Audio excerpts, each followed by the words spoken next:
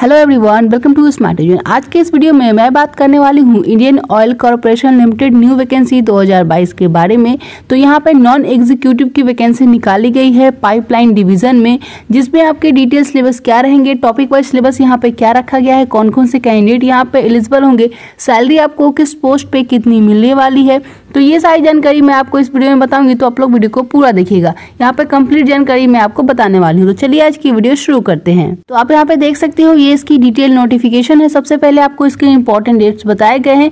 इसका जो form fill करने का लास्ट डेट है, वो अट्ठारह फरवरी दो हज़ार बाईस रखा गया अठारह फरवरी तक आप इसके फॉर्म फिल कर सकते हैं। नीचे में आपको वैकेंसी टेबल बताया गया है। कौन से स्टेट में, कौन से रीजन में कितनी कितनी वैकेंसीज निकाली गई है तो आप यहाँ पे चेक कर सकते हो। कौन कौन से स्टेट में कितनी कितनी वैकेंसीज यहाँ पे आउट की गई है। इसमें हम सबसे पहले बात कर लेते हैं इसके सिलेक्शन प्रोसेस के बारे में। तो यहाँ पे जो आपका सिलेक्शन होने वाला है, वो आपके रिटर्न टेस्ट के ऊपर बेस्ड रहने वाला है। इसमें आपका रिटर्न टेस्ट होगा और प्रोफिशेंसी फ़िज़िकल टेस्ट या फिर आपका स्किल टेस्ट यहाँ पे हो सकता है। इसमें जो आपके स्किल टेस्ट होंगे या फिर प्रोफिशेंसी टेस्ट होगा या फिर फ़िज़िकल टेस्ट होगा, वो सिर्फ़ और सिर्फ़ क्वालिफाइंग नेचर का होगा। आपको इसमें क्वालिफाई करना होगा।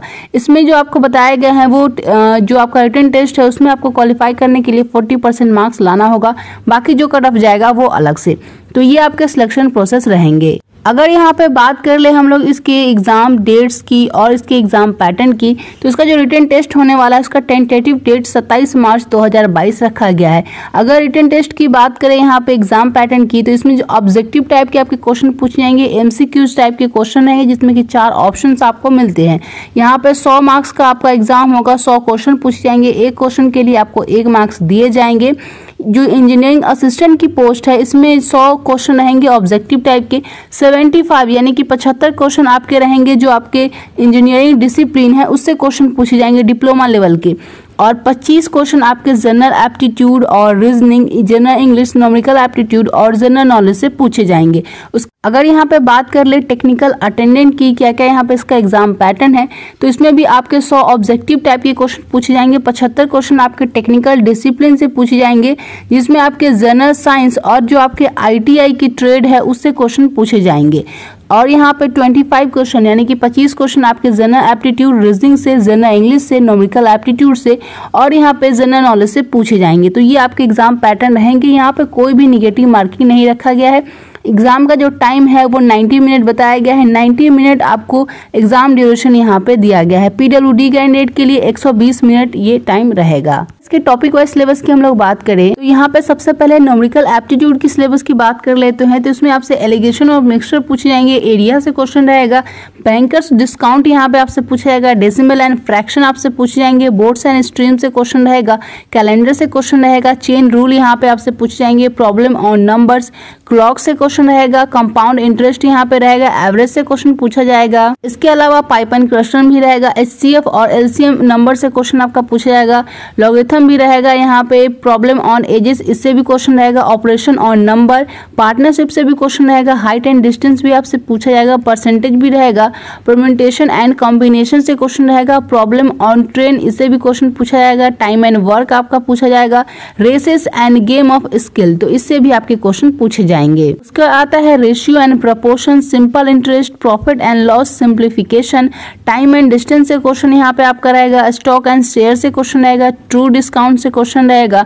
वॉल्यूम एंड सरफेस एरिया से भी क्वेश्चन पूछे जाएँगे। नेक्स्ट यहाँ पे बात कर ले रीजनिंग की सिलेबस की। तो इसमें आपसे डिसीज़न मेकिंग पूछा जाएगा डाइस से क्वेश्चन रहेगा एम्बेडेड इमेज से क्वेश्चन रहेगा फिगर मैट्रिक से क्वेश्चन रहेगा डिडक्टिव रीजनिंग स्टेटमेंट एनालिसिस से क्वेश्चन रहेगा इनपुट आउटपुट भी पूछा जाएगा मिरर एंड वाटर इमेज से क्वेश्चन रहेगा ऑड ऑन आउट से क्वेश्चन पूछा जाएगा डायरेक्शन से क्वेश्चन रहेगा पिक्चर सीरीज़ एंड सीक्वेंस से क्वेश्चन रहेगा पजल से आपके क्वेश्चन पूछे जाएँगे। इसके अलावा पैटर्न सीरीज़ एंड सीक्वेंस से भी क्वेश्चन रहेगा ऑर्डर एंड रैंकिंग से क्वेश्चन रहेगा रीजनिंग एनालॉजी से क्वेश्चन पूछा जाएगा।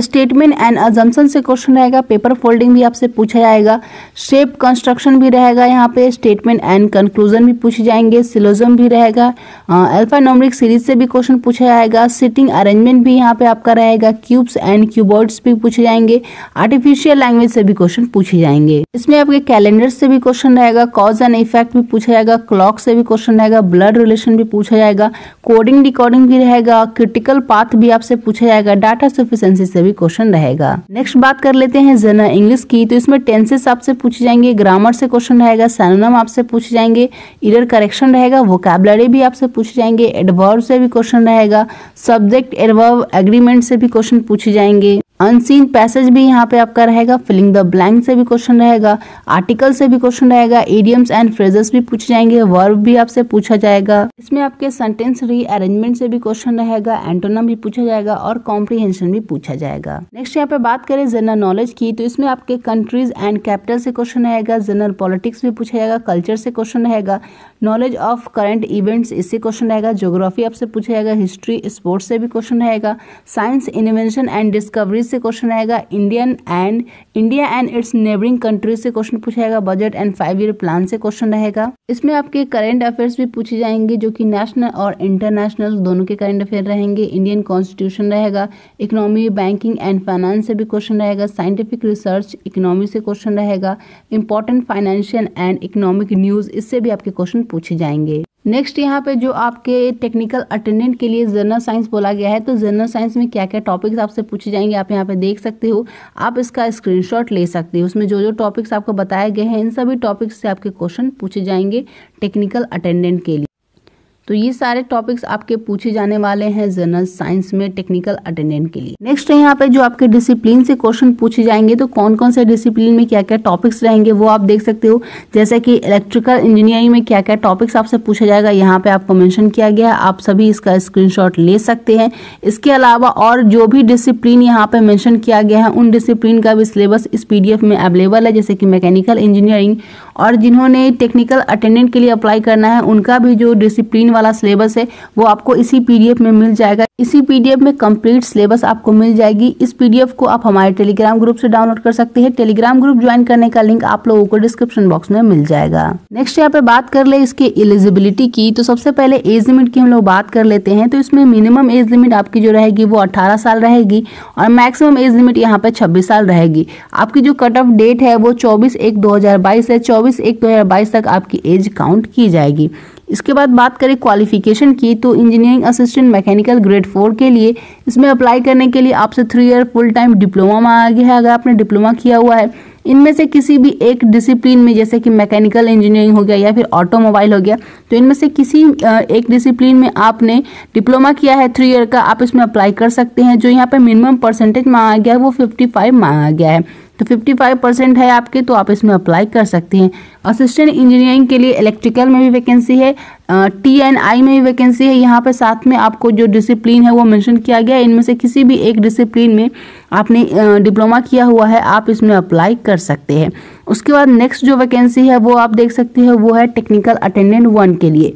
ग्रेड वन की ये पोस्ट है टेक्निकल अटेंडेंट की, जिसमें आपसे टेंथ मांगा गया है। टेंथ के साथ साथ आपके पास आईटीआई भी होना चाहिए। आईटीआई कौन कौन से ट्रेड में होना चाहिए? तो यहाँ पे ट्रेड की आपको पूरी लिस्ट दी गई है। इनमें से किसी भी एक ट्रेड में आपने आईटीआई किया हुआ है, साथ में टेंथ किया हुआ है तो आप इसमें अप्लाई करने के लिए एलिजिबल हैं। नेक्स्ट यहाँ पे बात कर ले इसकी सैलरी की तो यहाँ पे जो इंजीनियरिंग असिस्टेंट की सैलरी रहेगी, वो आप देख सकते हो, इसमें आपको पच्चीस हज़ार से लेकर के एक लाख पाँच हज़ार तक आपको इसमें सैलरी मिल सकती है। उसके बाद जो नेक्स्ट पोस्ट है, वो टेक्निकल अटेंडेंट वन की है, जिसमें आपकी पे स्केल रहेगी तेईस हज़ार से लेकर के अठहत्तर हज़ार। प्लस आपको यहाँ पे डी भी मिलेगा। इसमें अप्लाई करने के लिए जो एप्लीकेशन फ़ी आपसे मांगी गई है जनरल ओबीसी ईडब्ल्यूएस कैंडिडेट के लिए एक सौ रुपये एप्लीकेशन फ़ी रहेगी। S C S T PWD candidate के लिए कोई भी एप्लीकेशन फ़ी नहीं रखी गई है। अप्लाई आपको इनकी ऑफिशियल वेबसाइट पे जाके करना है। ये इनकी ऑफिशियल वेबसाइट है। इस वेबसाइट पे जाके आप ऑनलाइन आवेदन कर सकते हैं। इसका फॉर्म फिलअप जो है वो 24 एक 2022 से स्टार्ट हो गया है और इसमें अप्लाई करने का लास्ट डेट जो है वो 18 फरवरी 2022 रखा गया है। इसमें आपको रिटर्न टेस्ट के डेट के साथ साथ एस टेस्ट जो होने वाला है, उसका भी डेट मैंशन किया गया है एक अप्रैल दो हज़ार बाईस। अगर आपकी कोई भी क्यूरीज है तो आप यहाँ पे रीजन वाइज ई करके पूछ सकते हैं। यहाँ पे रीजन मैंशन किया गया और साथ में आपको ई मेल मैंशन की गई है। तो ये है इसके बारे में कंप्लीट जानकारी। आई होप कि आपको ये वीडियो हेल्पफुल लगी होगी। वीडियो हेल्पफुल लगी है तो इस वीडियो को एक लाइक ज़रूर से कीजिएगा। और अभी तक आपने हमारे चैनल को सब्सक्राइब नहीं किया है तो सब्सक्राइब करके ब्लैकिंग कॉल पर सिलेक्ट कर लीजिएगा। जितना हो सके इस वीडियो को शेयर कीजिएगा अपने फ्रेंड्स के साथ। तो मिलती हूँ मेरे नेक्स्ट वीडियो में। Bye bye